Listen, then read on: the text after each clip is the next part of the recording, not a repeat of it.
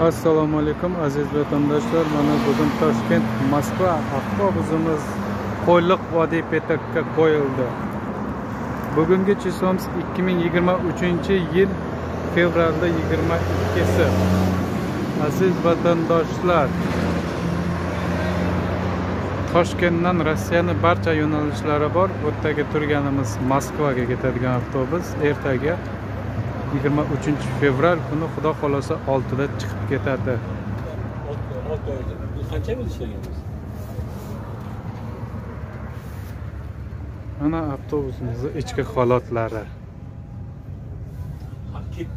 Murojaat uchun ekrandagi nomerga bemalol telefon qilaveringlar toshkent moskva.